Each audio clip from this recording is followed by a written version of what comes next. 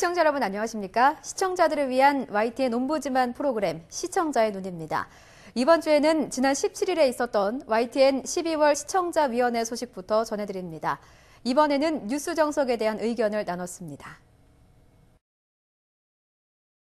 그 운정회 출범을 보도하면서 운정회의 운정이라는 단어가 아, 김종필 전 총리의 아호라는 점을 밝히지 않고 그냥, 그냥 넘어간 점이나 아, 운종의 구성이 어떻게 되는지 즉 그 회장이 누구이고 부회장이 어떤 분인지를 좀 알려줬을 경우에 그 어, 모임의 성격이 비교적 명확하게 이해될 수 있지 않나 하는 생각을 해봤습니다.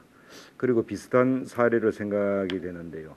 그 수능 출제 오류에 관한 아, 이 보도에서 최저 학력 기준이란 용어를 한 4회 정도 반복해서 사용하고 있는데 어, 이에 대한 최소한의 설명이 없었기 때문에 최저 학력을 기준 아, 최저 학력 기준을 충족해도 합격이 가능한 범위 안에 있는지 하는 이런 어, 설명을 했을 때 그게 어떤 의미인지 언론 이렇게 어, 뜻을 어, 이 파악을 할 수가 없었던 점이 좀 어, 미진한 부분이 아니었나 생각합니다.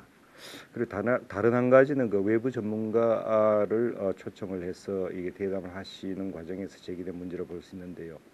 그 다시 그 운정의 출범에 관한 뭐 보도 해설에서 현직 대학 교수를 초청해서 여러 가지 평가와 전망을 어, 들어보고 있는데 이런 어, 정치 현안 문제에 대해 가지고 어, 이 대학 교수님들의 참여가 적절한지에 대해서는 제가 가끔 지난번에도 말씀을 드린 적이 있는 것 같고요.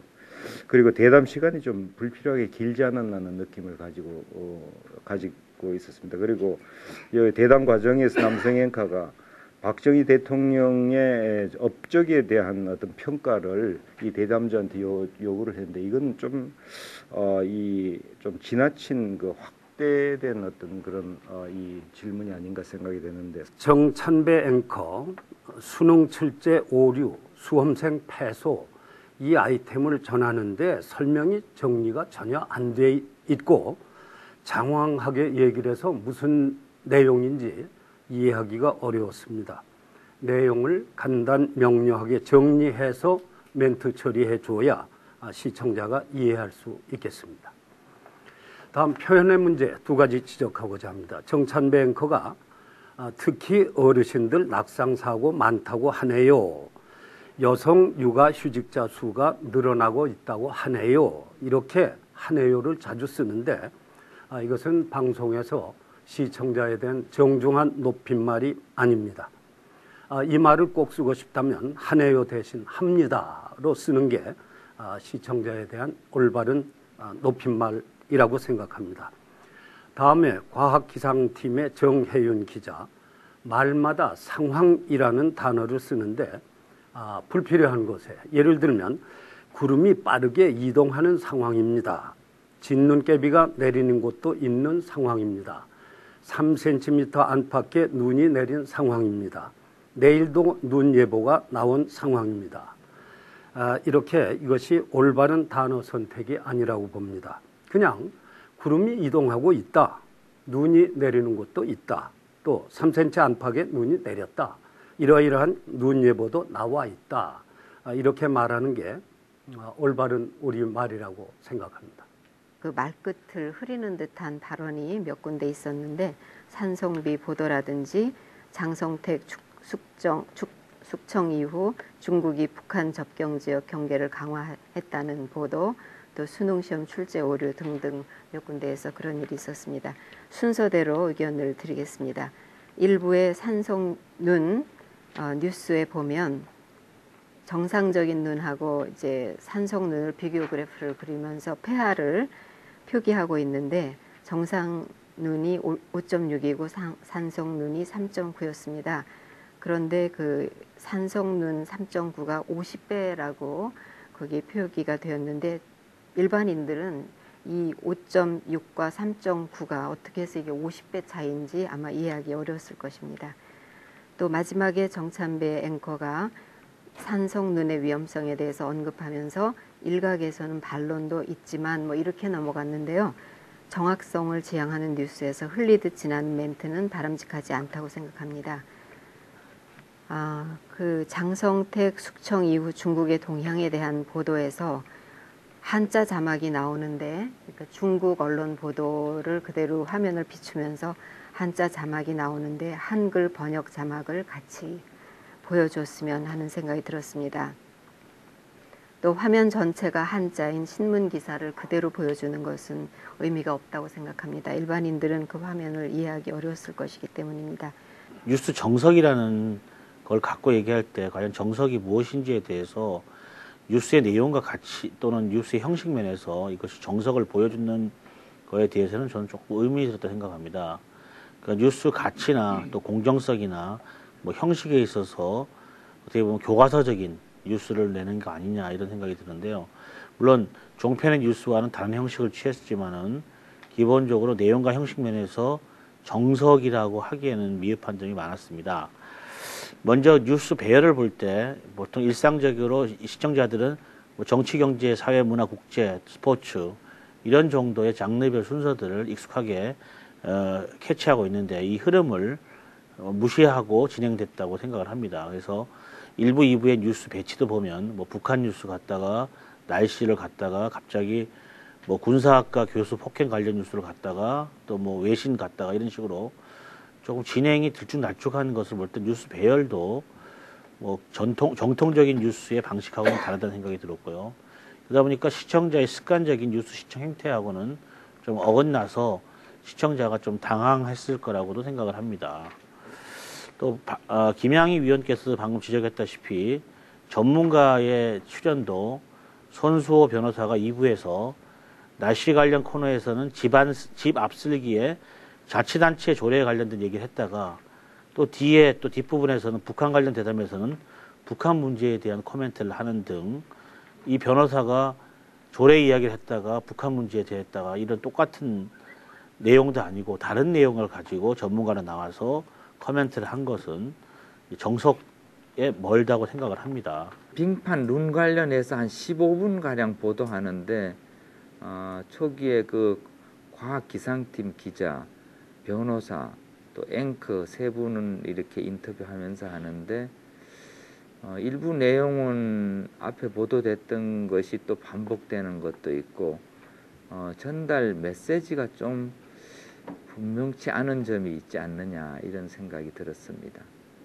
또 빙팔길 사고 소송 관련 인터뷰는 앞에서도 말씀이 나왔습니다마는 집 앞에 눈 치우는 것을 장려하기 위한 것인지 소송 관련한 정보를 전달하기 위한 것인지 이 전달 목적이 좀 어, 보다 분명치 않았다 이런 생각이 들었습니다. 아, 빙판길 차량 안전 관리 요령 인터뷰 내용은 어, 상당히 생활 뉴스로서 좋다고 생각됩니다. 다만 이 겨울에 차량 안 점검해야 될 부분에 대해서는 이런 부분은 자막으로도 좀 처리를 해주면은 보다 효과적으로 전달될 것이 아닌가 생각이 되었습니다. 아, 다음으로 군사학부 교수 폭행 관련 보도에서 어, 다섯 명의 인터뷰가 나옵니다. 폭행, 폭행 피해 학생, 학부 학생, 동료 교수, 해당 교수, 학교 관계자. 근데 이 모든 소리를 이제 음성 변조로 나오는데 이렇게 되다 보니까 3분 정도의 보도 중에 상당 부분이 음성 변조 목소리로 이렇게 되니까 좀 전달력도 떨어지고 어, 굉장히 좀 산만한 느낌이 들었습니다. 예, 특히 그 헤드라인 뉴스에서 수도권 눈길 그 소식을 그 전하는 것을 시작으로 해서 미 동북부 눈폭풍 사, 예, 소식을 소식으로 마감하면서 자연스럽게 본 뉴스의 시작을 날씨로 시작하는 그런 구성은 예, 시청자의 눈길을 계속 그, 그 다음 꼭지까지 연결하는 그런 효과가 있었지 않나 생각합니다. 물론 유다현 기상캐스터나 남녀 앵커들이 예, 꼭 뉴스 꼭지에 시작하는 부분에 그 자주 그 말을 중복되어서 하는 등의 그 작은 실수들은 있었지만 예, 전체적인 구성에서는 잘 된 프로라는 생각이 들었습니다. 예, 반면 그 유수 정석 2부는 예, 시작이 굉장히 생동감 있게 잘 되- 예, 진행되었습니다.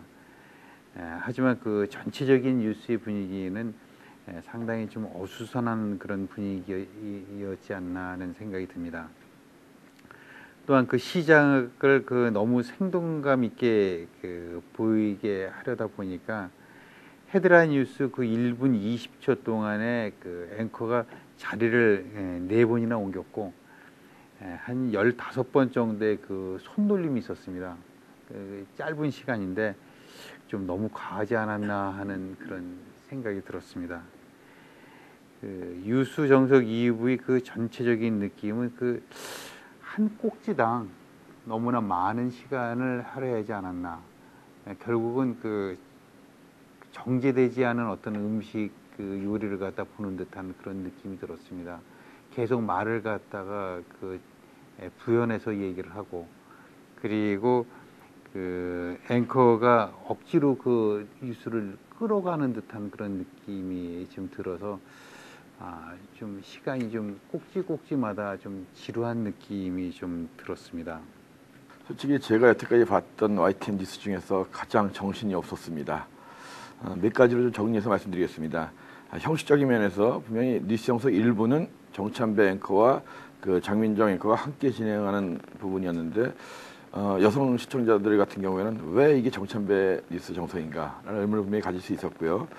어, 2부 같은 경우도 이 중간에 그 장민정 앵커가 게스트로 잠깐 등장했다가 근데 그때도 자막이 없었기 때문에 2부부터 오는 사람들은 이 사람이 누군가 이런 의문을 가질 수도 있었고 또 중간에 갑자기 뿅 나타나 가지고는 아 그 북한의 아, 그 숙청 역사를 설명했다가 또 갑자기 또 사라집니다. 역시 아, 자막이 없었기 때문에 이 사람이 누군가 이런 의문도 가질 수 있었습니다. 그래서 아예 정찬배 뉴스 정서로 가든가 아니면 정찬배 아, 장민정의 뉴스 정서로 가든가 좀 정리를 해주셨으면 좋겠다는 생각이 들고 어, 이강표 의원 말씀하신 것처럼 아, 처음에 2부에 시작할 때 정찬배 앵커가 왼쪽으로 갔다가 오른쪽으로 갔다가 좀 이동을 하길래 뭔가 바뀌는 게 있는 줄 알았더니 배경화면이 바뀌는 게 전혀 없습니다.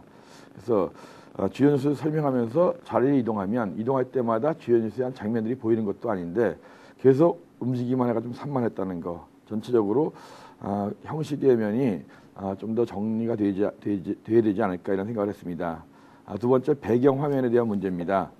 아, 배경 화면이 아, 좀 뉴스를 이해하는 데 도움이 됐으면 좋겠는데 역시 자료가 부족한지 어, 앞에서 김정일 근거지기 이수영 처형 당해 뉴스에서는 어, 단지 이 사람이 김정은 유학 시절에 후견이었다는 것밖에 없는데 어, 김정 그, 그 실제로 그 유학했던 그 베른의 국제학교 모습만 한 20여 초 이상 또 나왔고 그다음에 또 장석택 체포된 그 자료 화면만 계속 여러 군데 여러 군데에서 또 계속 나왔고 어, 또 뒷부분에 가면은 그 공정거래위원회에서 유통업계의 불공정 횡포 실태 조사. 역시 또 전혀 불공정 횡포 이런 화면이 없어서 그런지 모르겠지만 공정거래위원회의 건물 모습 특히 유리창 모습만 한 30초 가까이 뭐 해서 나오니까 역시 또 갑갑했고요. 이날 그 시청률을 보니까는 그 1부보다는 그 2부가 높은 시청률을 기록했습니다. 1%나 되는 높은 시, 시청률을 기록했는데 에, 장석택 숙청이라든지 대설에 따른 빙판길 주의사항 등에 대해 그 각계의 전문가들을 등장시키면서 여러 관점으로 그 해당, 내, 해당 내용을 분석 보도하는 것이 시청자의 호응을 얻은 것으로 생각됩니다. 에, 그런데 이날 방송에서 몇 가지 개선할 그런 어, 부분과 내용이 있었는데 그 대설 뒤 그 강취 빙판길 주의사항에 대한 보도에서 그 빙판길을 그 아슬아슬하게 걷는 시민의 모습이 많이 나왔습니다. 그 보기 좋은 모습도 아니고 당사자가 또 수치심을 느낄 수 있는 그런 만큼 그 얼굴이 잘 안 드러나도록 멀리서 촬영하거나 그 촬영 각도를 측면에서 하는 그런 배려가 있어야 되지 않겠나 하는 생각이 들었습니다. 그 넬슨 만델라 전 남아공 대통령의 그 연결식 관련 보도에서 반기문 사무총장도 뭐 참석해서 추도, 추도사를 했고 또 현지에 큰 환호를 받았다고 하던데 그 정작 당일 보도에서는 딱 영상 한 컷만 짧게 나온 정도였습니다. 그래서 세계 주요 지도자가 모인 그런 세계 연결식에서 우리 그 반기문 총장이 추도라, 추도사를 한 것은 에, 시청자의 관심을 불러일으키기에 충분한 그런 소재라고 그 생각되는데 에, 그런 부분은 에, 보도되지 않아서 좀 아쉬웠습니다. 원전 추가 건설 불가피라는 보도에서 어, 1차 때의 목표치 41%보다는 줄었지만 민간 워킹그룹이 공고한 범위에서는 가장 높은 수준입니다라고 했는데 민간 워킹그룹이 뭔지 저는 잘 모르겠습니다.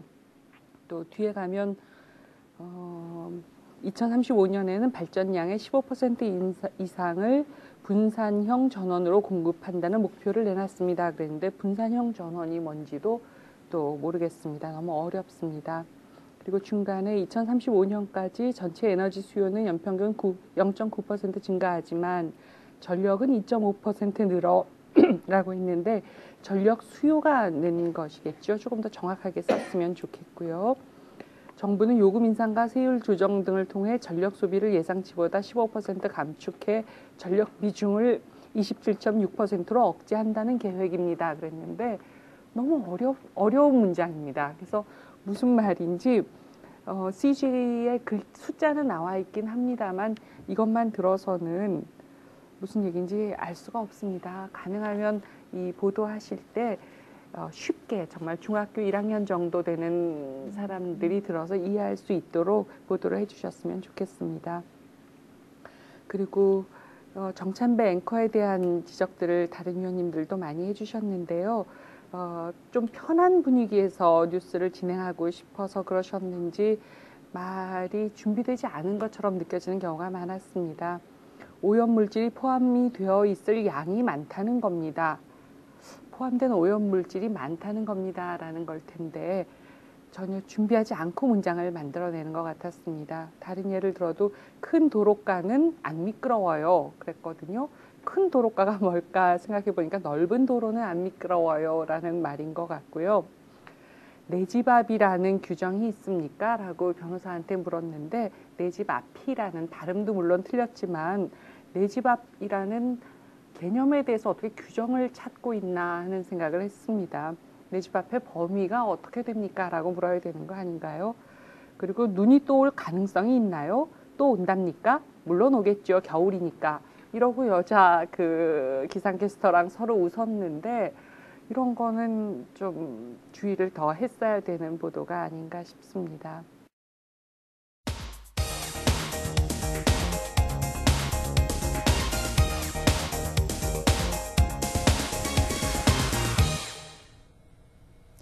이번에는 지상파 DMB 채널인 YTN DMB 프로그램을 평가하는 내가 본 YTN 순서입니다. 이번 주에는 산업뉴스에 대한 김은미 평가원의 의견을 들어보겠습니다. 안녕하세요. 저는 마이티엔 시청자 평가원 김은미입니다.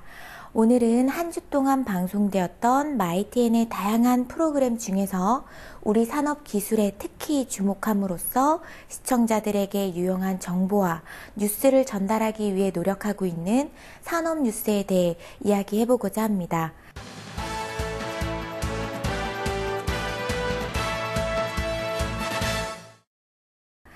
우리 사회의 다양한 전문 분야 중에서 특히 우리 산업 전문 분야에 대한 뉴스와 정보를 전달하는 과정에서는 다른 여타의 프로그램 제작과 달리 조금 더 신중한 접근으로 시청자들에게 전달하려는 노력이 필요하지 않을까 합니다.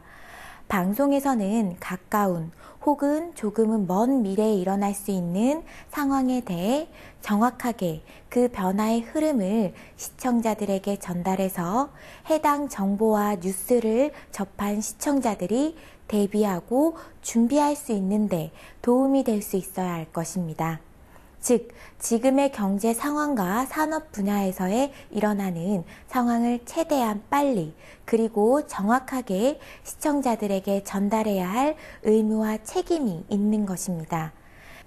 이처럼 언론은 이미 일어난 변화나 흐름을 잘 정리해서 그곳에 숨은 의미나 새로운 정보를 잘 정리해 줄 필요가 있습니다. 하지만 이러한 역할에서 가장 중요한 점은 추측성 정보에 대한 경계와 현상에 대한 신중한 분석, 그리고 명확한 전달을 위한 노력이 전제되어야 할 것입니다. 어, 현재 상황을 제대로 파악하지 못한 채 뉴스나 정보가 전달된다거나 혹은 피상적인 정도의 분석에서 그치게 됨으로써 중요한 뉴스와 정보를 놓치거나 소홀히 한다면 결국 가장 큰 피해는 해당 정보를 신뢰한 시청자들에게 나타날 수 있기 때문입니다. 이처럼 신중치 못한 태도는 전문 언론의 역할을 제대로 수행하고 있다고 볼 수 없을 것입니다. 그러므로 우리 산업 분야와 같이 전문적인 뉴스와 정보가 시청자들에게 도움이 될 수 있기 위해서는 거시적 관점뿐만 아니라 세밀한 분야에서까지 신중한 태도가 필요하다고 생각됩니다. 특히 우리 산업 분야의 다양하고 전문적인 정보와 뉴스가 시청자들에게는 생소하거나 어려울 수 있다 보니 간혹 특정 집단에 소속된 몇몇 전문가의 관점에 취중되어서 해석된 정보와 뉴스가 전달되기도 합니다. 결국 이러한 현상은 시청자들에게는 보여주고 싶고 들려주고 싶은 부분만을 전달하게 될 위험성이 높아지게 되는 것입니다.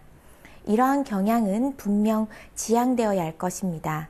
그리고 지나치게 강조된 경제 하향 가능성에 대한 무분별한 방송은 오히려 시청자와 올바른 여론 형성에 위험이 될 수도 있을 것입니다.